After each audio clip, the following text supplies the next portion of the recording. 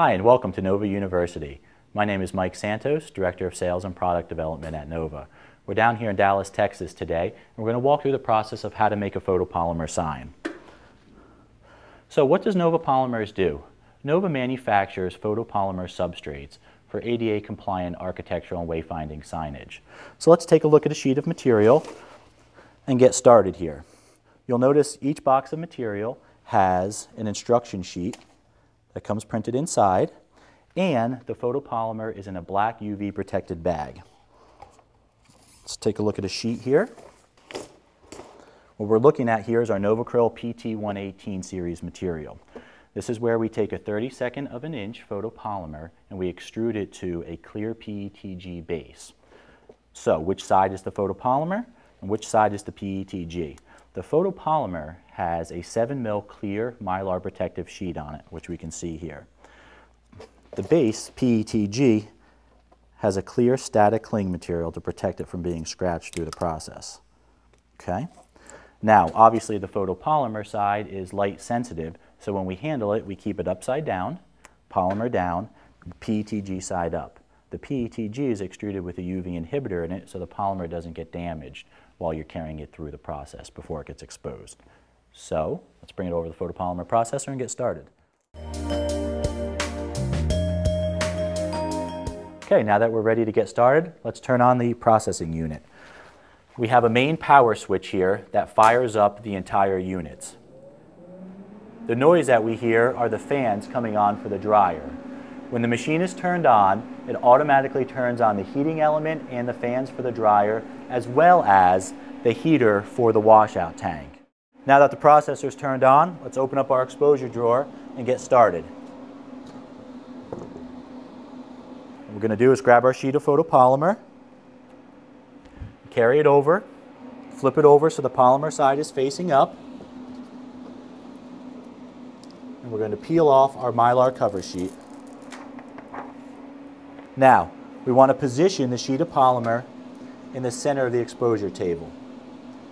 Once we're in position, we can grab our film negative. Now this film negative was printed on our Inkstar inkjet solution. A couple of things to note. The image was printed right reading emulsion down, which means in the file, the film or the artwork was flipped. So as you can see, it's printed in reverse. I'll carry it over here. The reason for printing it in reverse is we want the emulsion to be down on the photopolymer, like this. The reason for that is when we draw a vacuum, we want the negative to make intimate contact with the photopolymer and make sure there's no air that gets trapped. So, let's position our negative.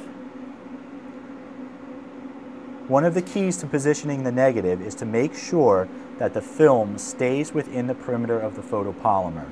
The reason for that is if the film hangs over the edge, when we draw a vacuum, it could create an air flap for air to get underneath it and create a blowout during the exposure process. So once we have the film in position, we're going to take what's called a bleeder strip and we're going to place it on the leading edge or the edge that is closest to us.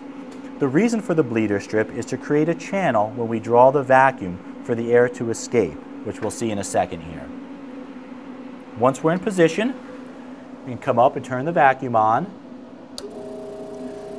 and draw the mylar cover sheet over the surface. grab a squeegee. And as I said earlier, the idea is to draw the air towards the bleeder strip. And what we're doing here is we're making sure that there's no air that gets trapped between the negative and the sheet of photopolymer. As we're drawing the air out, we're going to keep an eye on the vacuum gauge. What we're looking for is for the needle to be steady. When the needle's steady like we see here, that means that there's no air leaking and we're ready to go. So we give it one last inspection, make sure everything looks good. We're ready to close the drawer. And look at our timer. Right now our timer is set at five minutes. We're going to change this down to four and a half minutes by using our arrows. And we're ready to start. So once the exposure is done, the timer will reset itself. We turn off the vacuum, and we're going to take the sheet of photopolymer and place it in the washout tank.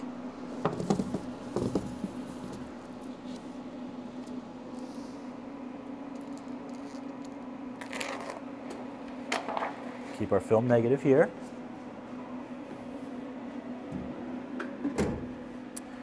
We can actually take a look at it and visually inspect and see the images actually were exposed into the polymer. And now, polymer itself will stick to the green mat on the platen. So we apply pressure from the inside out.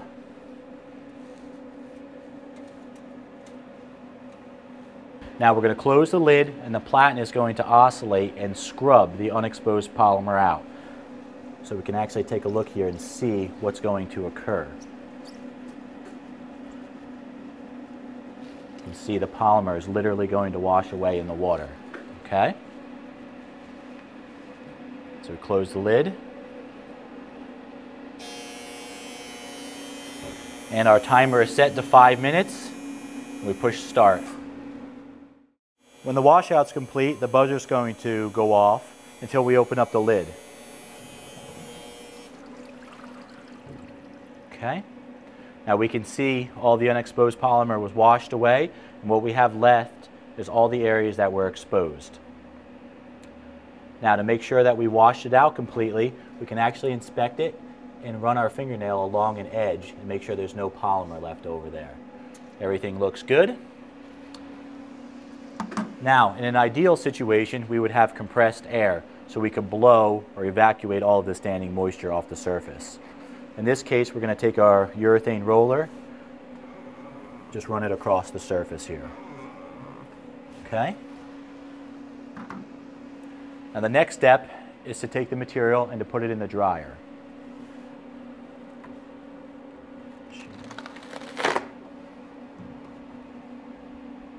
Okay. Place it face up. A dryer. Let it sit in here for 10 minutes. After 10 minutes, we can take the sheet of polymer out of the dryer. We want to inspect it first and make sure that we've evaporated all the moisture off the surface, which we have. We're ready to go to the fourth and final step, which is the post-exposure. Again, we're going to lay the sheet, polymer side up, close the drawer. We're going to come up to our timer, which is going to be preset for five minutes, and wait till it's finished. Okay, here we have the AccuCutter 19-inch tabletop finishing shear. The AccuCutter is a guillotine shear and it's used to cut the NovAcryl PT series photopolymer. One of the unique things about the PT series is that we use a PETG base. Any material that's eighth of an inch or thinner can be shear cut to a finished edge. Now, if we have a sign job that is maybe a standard shape, 8 inch by 8 inch, 6 by 8, something like that, we have two options. One, we can send it to a CNC router, or we can shear cut it. And the nice thing about the tabletop finishing shear is that we can do it right here in the photopolymer production area.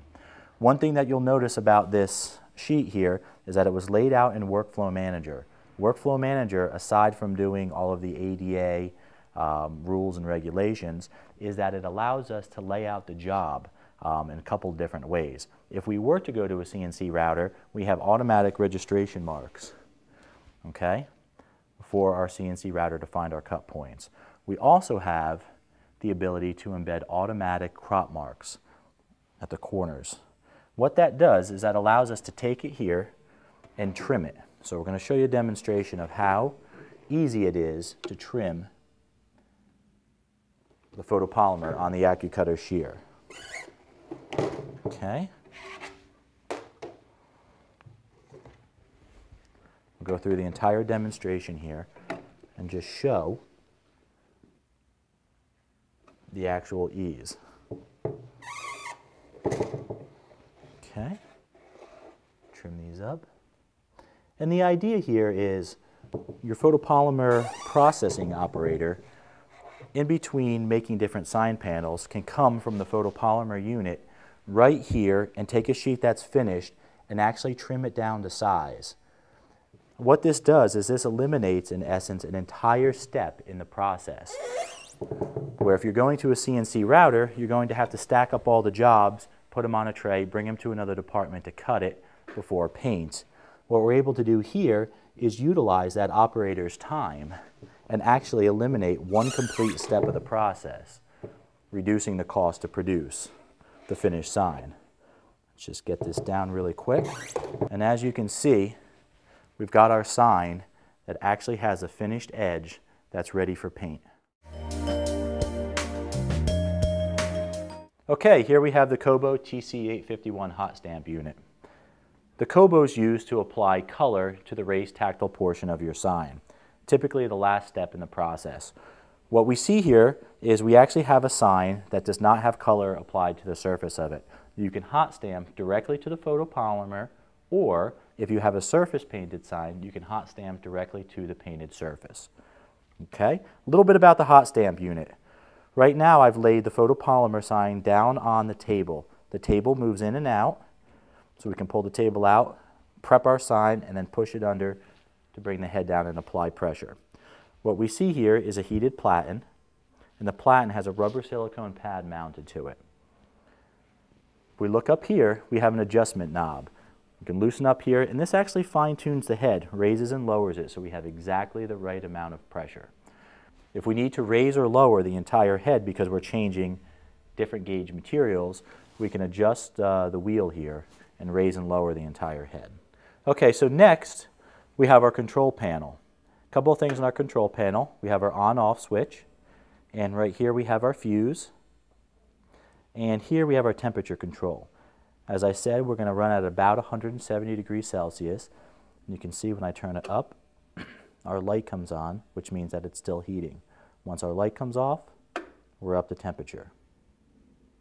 Right here, we have an automatic feed controller. What that does is allows us to mount our foil, run it underneath, and it automatically advances.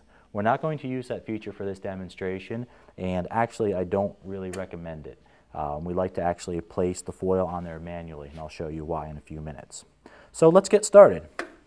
Take a pair of scissors, okay? We're going to actually cut the foil to the exact size that we want. We're going to place that on the area that we want to stamp. And just for fun, we'll make the Nova a different color.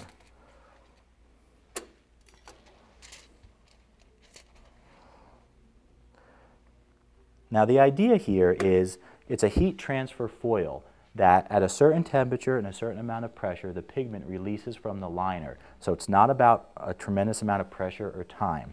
So we're going to put it in here. We're going to stand, come down on it. We're going to dwell on it for about two seconds. One, two, and come up. And just for good measure, we're going to come in here and touch it just a little bit. Make sure that we get all the areas covered. One thing that you'll note that every unit is a little bit different and would have what I would call a sweet spot. Just like everything else in life, nothing is perfectly flat. So that means that the head and the pad is not perfectly flat. So what we need to do is find this spot on the machine that works the best so we make sure we get solid coverage. So Slowly pull this off. We can see that we have the Nova covered. And let's see how we did with the numbers. Okay, there we go. And that is the basic way we hot stamp. Bye.